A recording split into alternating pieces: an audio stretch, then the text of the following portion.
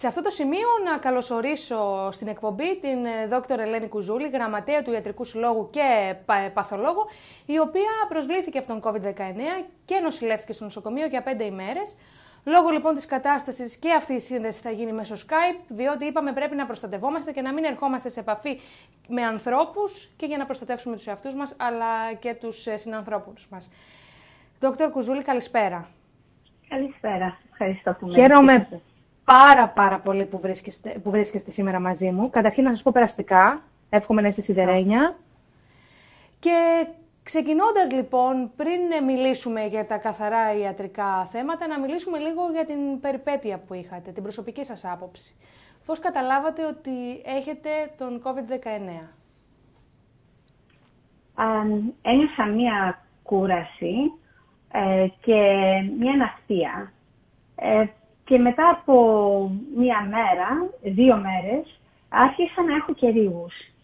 Ε, πήρα παρακεταμόνη και αισθανόμουν καλά και προχωρούσα και πήγαινα στη δουλειά. Αλλά αυτή η κούραση όμως ήταν κάτι διαφορετικό, δεν το είχα ποτέ. Και την τρίτη μέρα ε, είχα ξαντληθεί και πήγα σπίτι και πήρα το θερμόμετρο και είχα πυρετό. Και έτσι κατάλαβα ότι ίσως έχω το COVID-19. Ουσιαστικά, λόγω της ειδικότητάς σας, λόγω του ότι είστε παθολόγος, έρχεστε σε καθημερινή επαφή με πολλούς ασθενείς.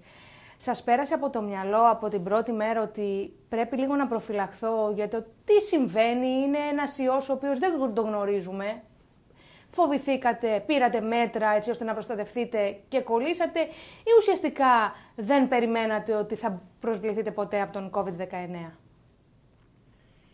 Ε, μέτρα προσπάθησα να πάρω, αλλά βέβαια δεν είχαμε μάσκες, ε, δεν είχαμε ρούχα για να προστατευτούμε από τους ασθενείς, αλλά κάναμε ό,τι μπορούσαμε για να βοηθήσουμε τους ασθενείς και επειδή μπορούσε κάποιος να έρθει στο γιατρείο και να μην έχει καθόλου συμπτώματα και να, το, να το μεταδίδει, ε, δεν θα και πέρασε από το μυαλό μου.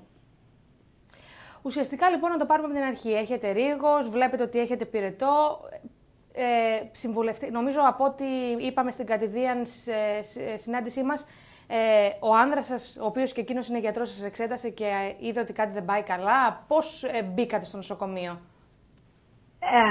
Εφόσον ε, για τρεις μέρες ε, έπαιρνα παρακεταμόλη και δεν έπεσε ο πυρετός, ε, ε, συγγνώμη, έπεσε ο πυρετός ε, για μία μέρα και λέω εντάξει, μάλλον τα κατάφερα και είμαι μια χαρά. Ε, την τέταρτη, πέμπτη μέρα ε, ξαναεπανήλθε ο πυρετός και άρχισα να έχω συνάχη και ήμουνα πάλι σε πολύ χειρότερη κούραση. Δεν μπορούσα να περπατήσω, δεν είχα δύσπνοια ακόμα.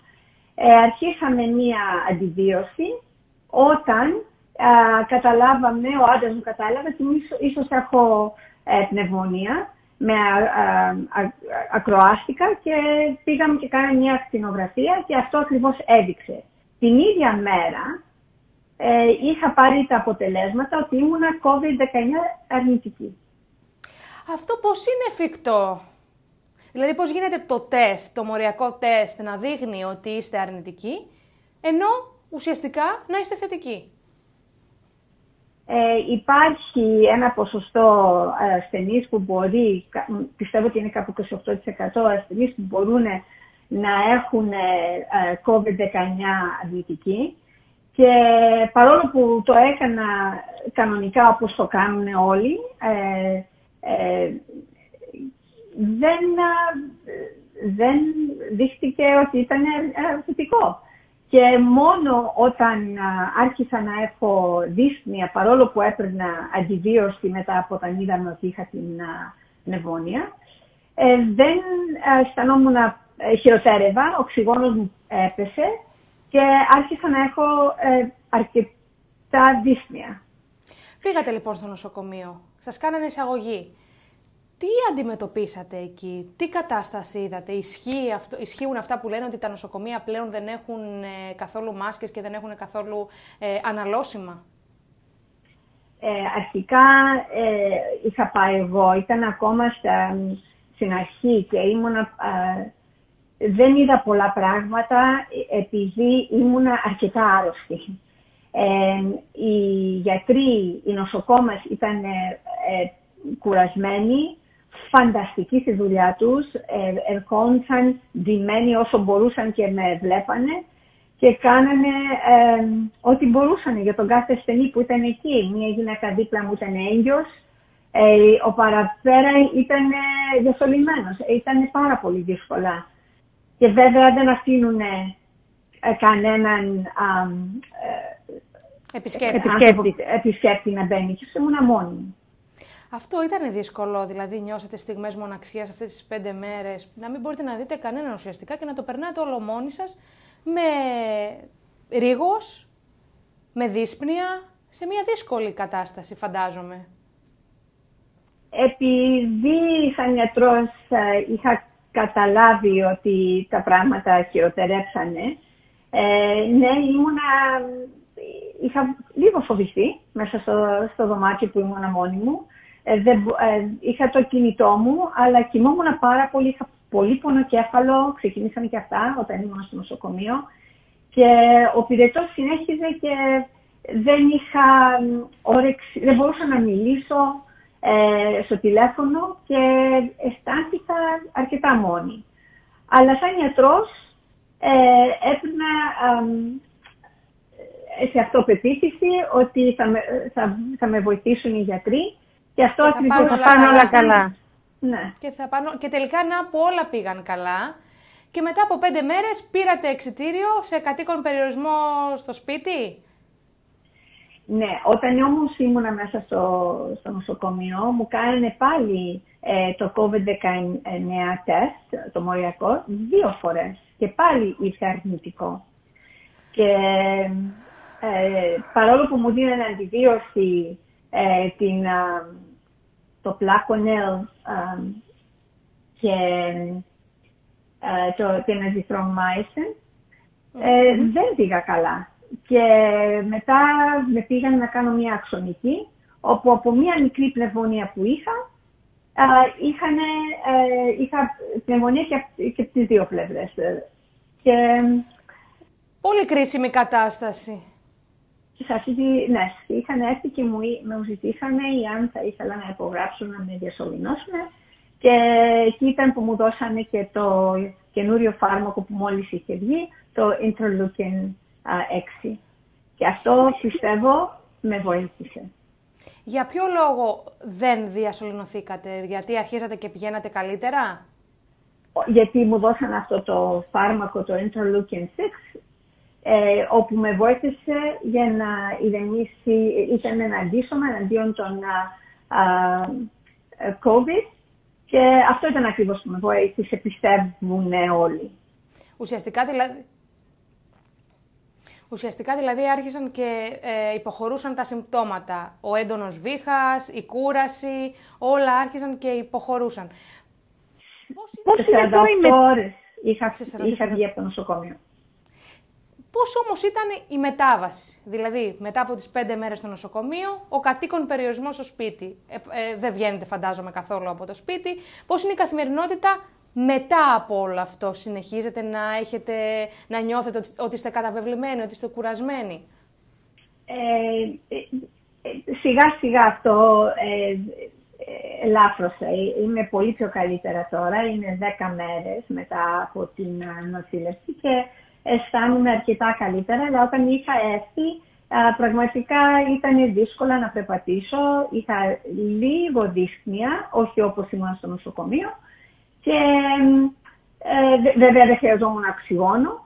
Και πήγα και έκανα quarantine στο, στο δωμάτιο μακριά από την οικογένεια για μία εβδομάδα. Νιώσατε ποτέ ότι είστε κοντά στο θάνατο; Ναι, αυτό το ένιωσα όταν ήμουνα στο δωμάτιο μόνη μου και δεν μπορούσα να αναπνεύσω και δεν το πίστευα ότι αυτό έγινε μέσα σε, σε λίγες ώρες. Ναι.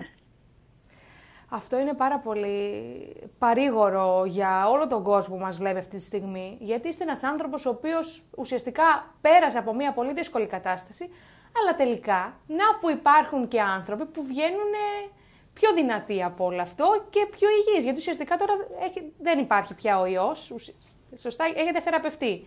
Μιλάω σωστά; Ναι, έχω θεραπευτεί και μάλιστα ε, πριν μία, δύο μέρες ε, στείλα μία αίτηση στο Mount Sinai για να, για να πάρουν το αίμα μου, για να βρουν τα αντισώματα, για να μπορέσω να βοηθήσω ε, άλλους ασθενείς που είναι στην εντατική μονάδα και χρειάζονται τη βοήθειά μου.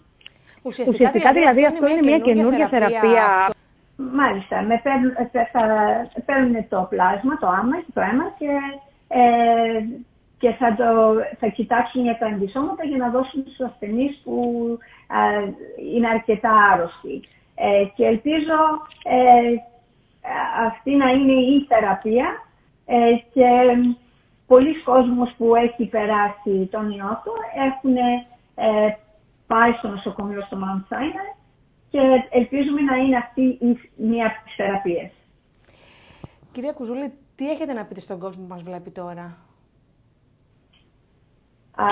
να προσέχουν, να βάζουν, να καθαρίζουν τα χέρια τους, το πρόσωπό τους ε, και να μένουν στο σπίτι μέχρι ότου περάσουμε αυτή την κρίση όπου θα την περάσουμε. Ε, οι γιατροί στα νοσοκομεία, οι νοσοκόμοι, οι νοσοκόμες δουλεύουν πάρα πολύ σκληρά και ήταν, είναι φανταστικοί για αυτά που κάνουν και πώς με βοηθήσανε και εμένα και τους α, δίνω συγχαρητήρια και ελπίζω όλοι μας μαζί θα τα περάσουμε και θα τα καταφέρουμε.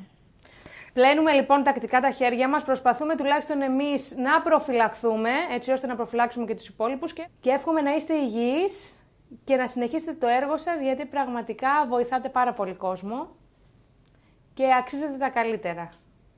Ευχαριστώ πολύ. Σας ευχαριστώ.